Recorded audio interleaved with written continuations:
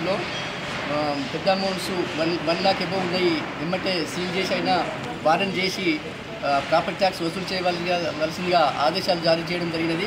వారి ఆదేశానుసార ప్రకారంగా మా ట్యాక్స్ ఇన్స్పెక్టర్ ఏరియా వెరిఫై చేసి మన వెంకటరమణ మెటల్ ఇండస్ట్రీస్ వారు ఐదు లక్షల ఐదు లక్షల ముప్పై ఐదు వేలు బకాయి ఉంది సార్.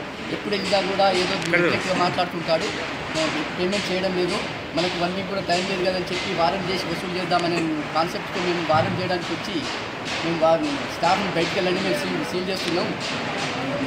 వారం చేస్తున్నామని అంటే ఓనర్ నెగ్లెక్ట్గా సప్లై వెళ్ళిపోయి ఇట్లా నెట్టేసుకుంటాం మా ట్యాక్స్ ఇన్స్పెక్టర్ నెట్టేసుకుంటే సీరియస్ వెళ్ళిపోవడం జరిగింది.